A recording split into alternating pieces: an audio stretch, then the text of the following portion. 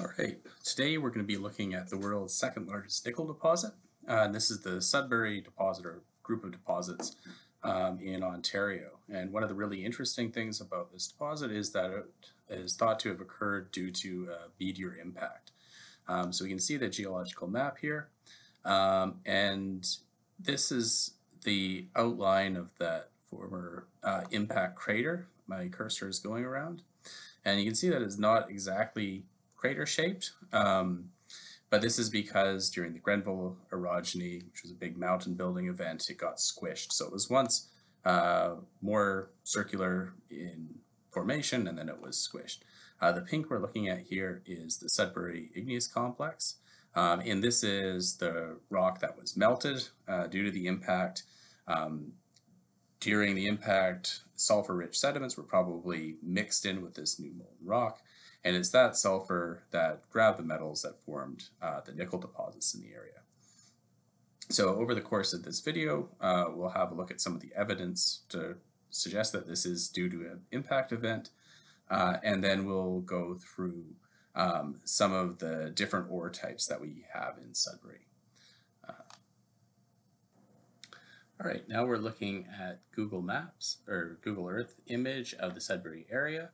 Um, and you can see that this, where my cursor is going around, is uh, the approximate outline of the Sudbury um, igneous complex that we saw was the pink in the, the map before.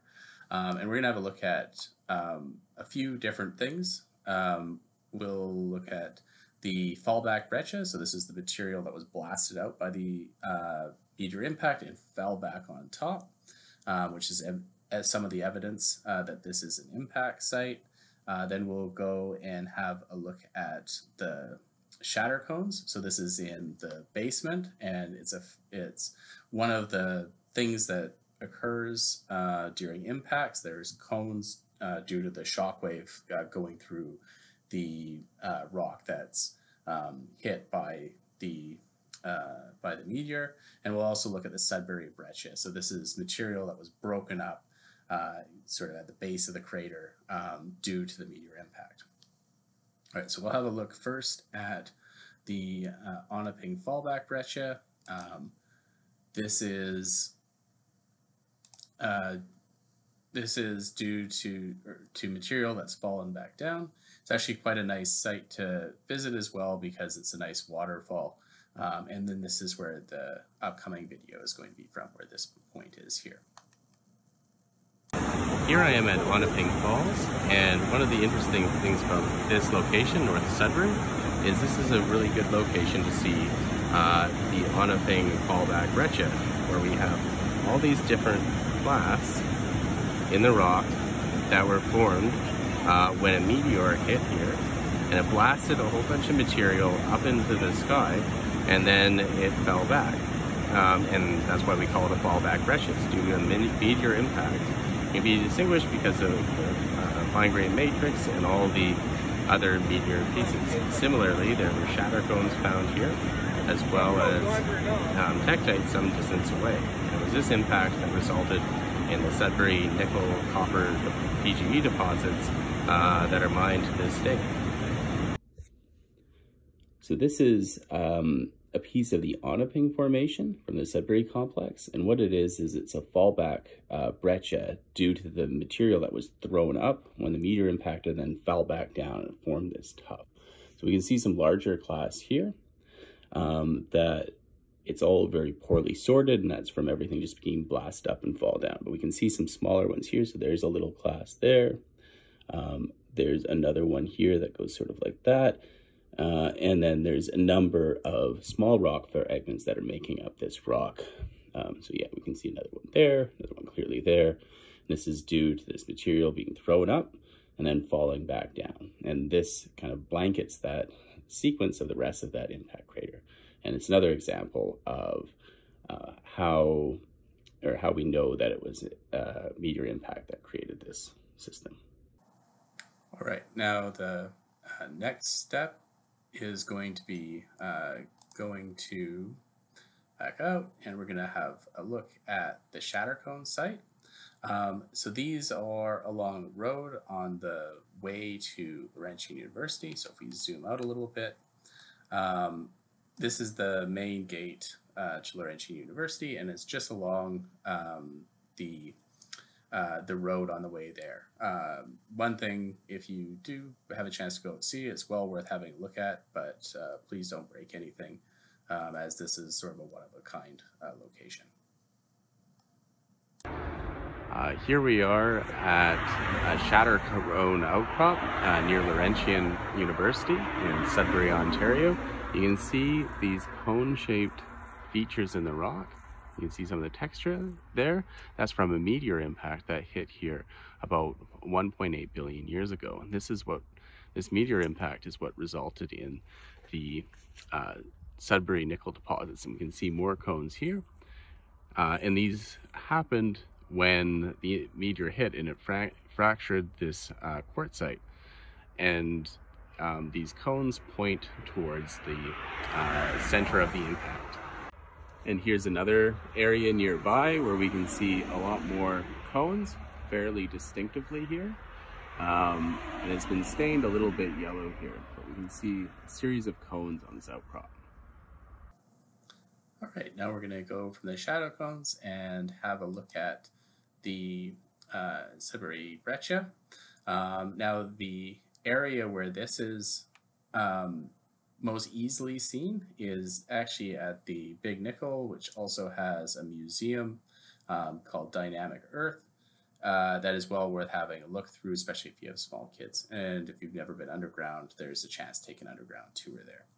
Um, but it's more in just on the way from the parking lot to the museum, there is nice exposures of the Sudbury Impact Breccia, and it's an area where sedimentary rocks were impacted, so it's really easy to see um, that these are broken up fragments, and we'll have a look at that in more detail now.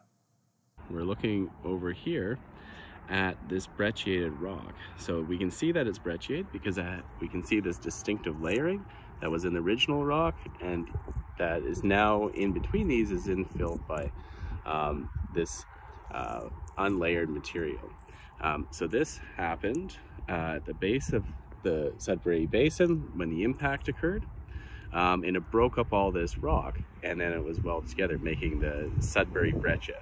So here's another big clast here. And this impact was uh, one of the largest uh, known to have occurred on Earth um, and that we have evidence of anyway. Um, and it is re resulted in the second largest uh, nickel deposit, the Sudbury deposits uh, in Sudbury, Ontario. So this is the broken rock that was then infilled by um, molten rock and in some areas uh, massive sulfide uh, in the Sudbury complex in Ontario. So this occurred uh, at the base of the meteor crater uh, when the meteor struck and, and created that impact site. We can see these really angular fractures of the um, host rock that's then infilled by this finer grained material that is the um, melted rock that melted from the meteor impact and then infilled in between all these fractured up rock. Um, so this is, again, evidence used to interpret that a meteor impact is what caused the Sudbury complex and the nickel deposits associated with it. All right, now we're going to have a look at the different ore types um, that we have at Sudbury. Um, but before I do that, I'll just go briefly through how uh, the sulfide solidified here. So these were molten sulfide droplets that were in the melt that was caused due to the uh, impact. Um, so what you started out with this is with sulfide liquid. Now, as this was mixed in with all that molten rock, sulfide liquid uh, tends to grab elements like platinum group elements, copper, nickel, uh, and this is what ultimately formed the deposit. Um, and as we cool from fully molten sulfide liquid, we start to precipitate uh, different metals first. So what we get first is we get precipitation of um, iron nickel uh, monosulfides, um, and this leaves back a residual liquid uh, melt that is then enriched in copper and platinum group elements. And as we continue to decrease the uh, temperature, we start precipitating out uh, from nickel and iron to then more copper and then more PGEs. So as uh, our, our sulfide liquid cools, um, we progressively get more and more copper in the residual liquid. And if this is stuck in one spot, we're going to get just a series of uh, minerals like chalcopyrite, pyrrhotite, and pentlandite, and PGs. However, uh, in some areas, the liquid can kind of keep migrating as it cools, and further away in this migration pathway, we get progressively more copper and more PGs. Um, so we'll have a look at these different ore deposits, remembering that the ones that are purely nickel and iron rich um, precipitate first, and as we get progressively more copper, this is a progression of the sulfide melt uh, moving away from that the initial uh, high nickel grades. Right, we're looking at some massive sulfide ore uh, from the Sudbury complex. This is interesting because it came from essentially the base of the crater. We know this because we can see these fractured bits of um, rock that when the impact happened, it broke up the, the base rock and then later had massive sulfides kind of come in and filling the area between the clasts. Now, these tend to be uh, higher nickel and lower copper because the nickel and iron um, solidifies first out of those sulfide melts. You can tell that there's not a whole lot of like that goldy chalcopyrite here um, because this is mostly pentlandite and pyrrhotite. So if I had my magnet, I could stick it on there. Um, so this is um, one of the types of ore we get in the Sudbury complex and it happens near the base of the crater. All right, we're again looking at a rock from the Sudbury complex. This is uh, largely a norite, so it's a olivine and uh, plagioclase rich rock.